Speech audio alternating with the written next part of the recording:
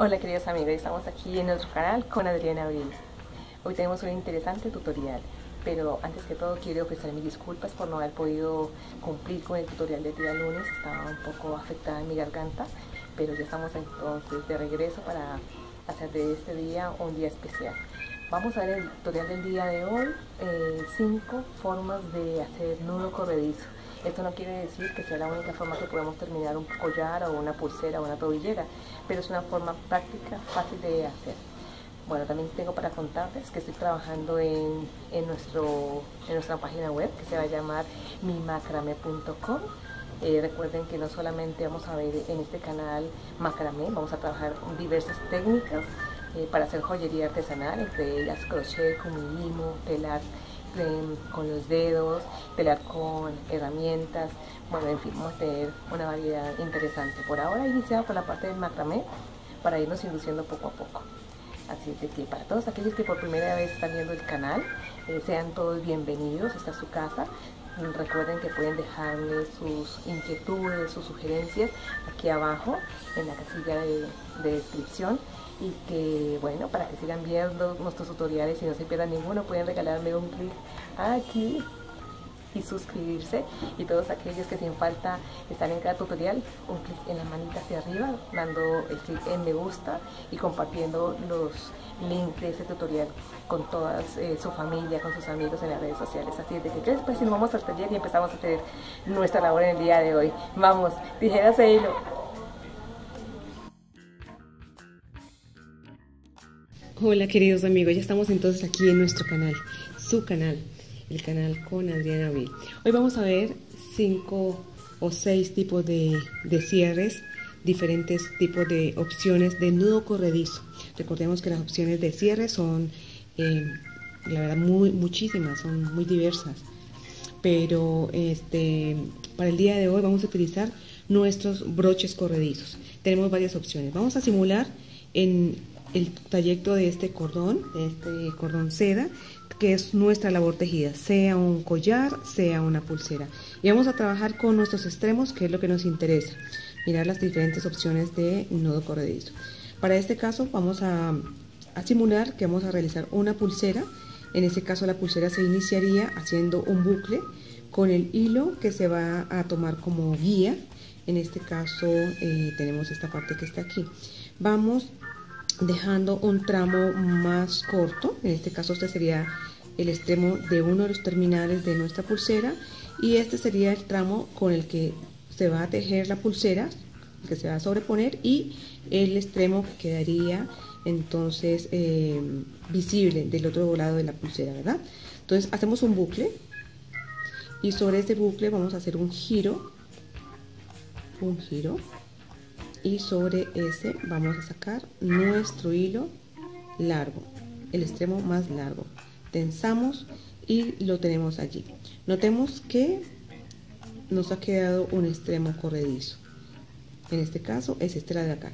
No lo podemos alar porque si no se nos desbarata el, el hilo, el tejido, ahí podemos notar.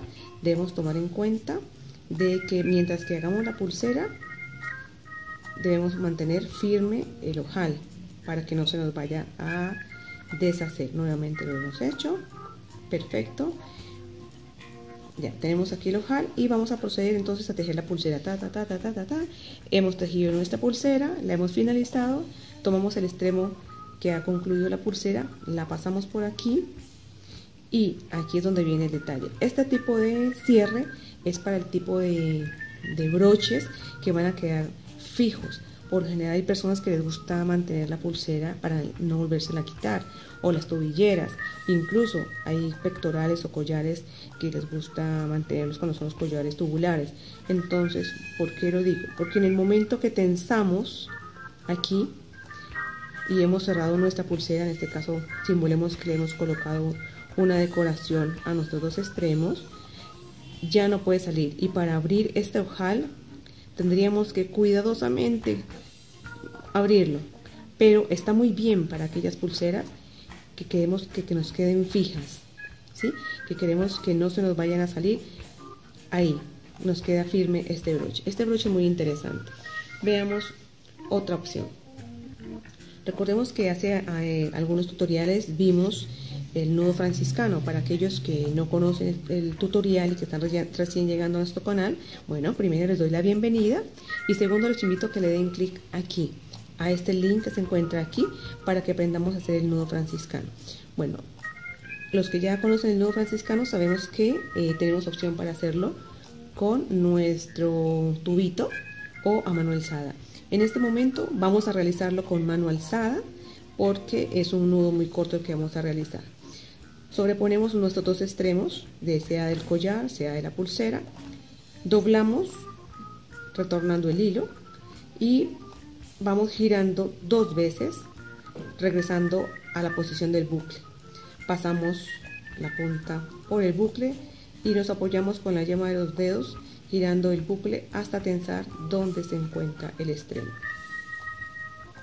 ¿De acuerdo? Ah, aquí se me soltó porque hice mucha presión. Bueno, es algo que ya sabemos que no podemos hacer. Debemos hacerlo con delicadeza para que no se nos vaya a desbaratar. Qué bueno que me haya sucedido frente a la cámara. Ahí, perfecto, ahí.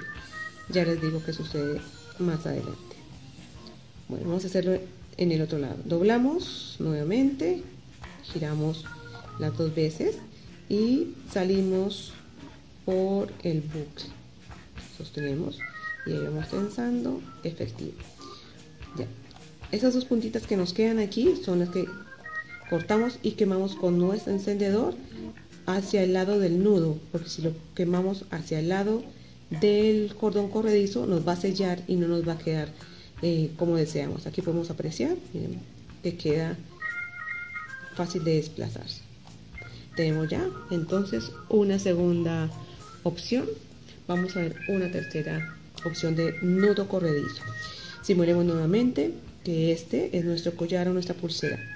Sobreponemos nuestros dos extremos que finalizan nuestro, nuestra labor y vamos a llevar por debajo un trozo de hilo del que estemos eh, haciendo nuestro collar o que combine con lo que estamos haciendo y vamos a realizar uno o dos o tres nudos planos de acuerdo a nuestro gusto o como la labor nos requiera. Para aquellos que están llegando, pueden dar clic aquí en este link y abrir las posibilidades porque recordemos que hay varias opciones para hacer el nudo plano, hay varias figuras, ¿verdad?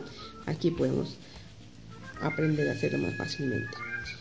Yo lo hago un poco más rápido para no hacer tan extenso el video. Entonces ya tendríamos con nudo plano sobrepuesto sobre estos dos hilos que terminan nuestro collar de pulsera, otra opción de nudo corredizo. Aquí sería solamente a los dos lados cortar y quemar. Sería una tercera posibilidad. Veamos. En esta, en esta oportunidad vamos a simular que eh, venimos empezando nuestro tejido sobre esta base azul que la hemos utilizado como guía y que hemos venido tejiendo con la puntada que deseemos, con cualquiera de los nudos que ya conocemos Hemos venido trabajando, trabajando todo el trayecto y antes de finalizar la pulsera he llegado a, esta parte.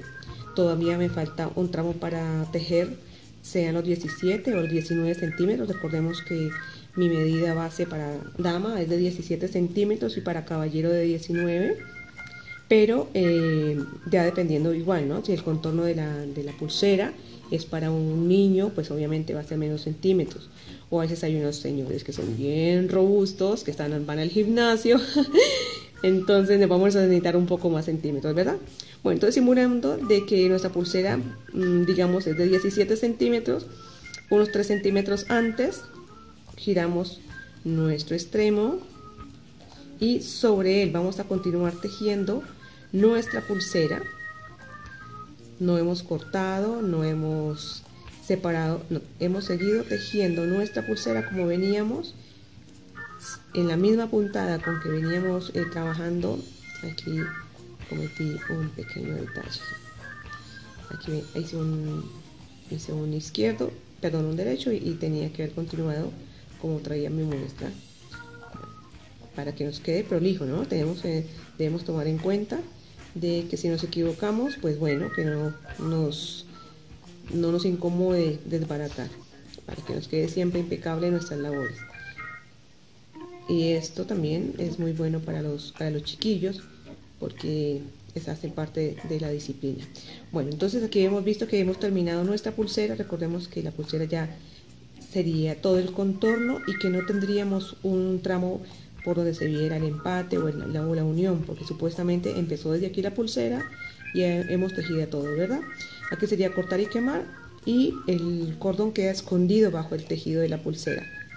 Ahí nos queda solo un extremo que se puede desplazar. Bueno, aquí tenemos una cuarta opción. Vamos por nuestra quinta y última posibilidad en este tutorial. Recordemos, queridos amigos, nuestro nuevo franciscano. En esta oportunidad lo vamos a hacer con nuestro eh, aparatito, que es nada menos que un trozo de, bombilla, pitillo o pajita, dependiendo del país donde nos encontremos. Vamos a trabajar con él. Igual, simulemos que tenemos, tenemos un collar o una pulsera, sobreponemos nuestros dos extremos, acercamos nuestro pedacito de bombilla, pajita o retornamos junto a él y empezamos a girar hacia el extremo donde se encuentra la salida del otro hilo, o sea, hacia nuestra mano izquierda. Cuando llegamos acá al final, aquí me quedado un poco corto, vamos a hacerlo de nuevo que me ha quedado un poco corto el, hilo. ya sabemos que no podemos dejarlo tan junto, ¿verdad? Doblamos un poquito y giramos hacia el sentido contrario. Y cuando llegamos a ese extremo pasamos por el tubito, aquí lo voy a hacer lento, ahí podemos verlo, lo estamos pasando. Y debe salir por el lado donde se encuentra el pitillo. Sacamos el pitillo la bombillita, el pedacito de tubito. Y ahí nos queda. Giramos y vamos tensando y con la yema de los dedos vamos apretando. Aquí nos ha quedado otra posibilidad de nudo corredizo. Bien, queridos amigos, esto ha sido todo por el tutorial del día de hoy. Tengamos en cuenta que estas no son las únicas posibilidades para finalizar nuestros trabajos. Solamente tenemos cinco opciones de nudo corredizo, una de las tantas posibilidades, recuerden, para terminar nuestros trabajos. Bueno, queridos amigos, un abrazo gigante para todos y cada uno de ustedes y nos vemos en el próximo tutorial sin falta. Chao.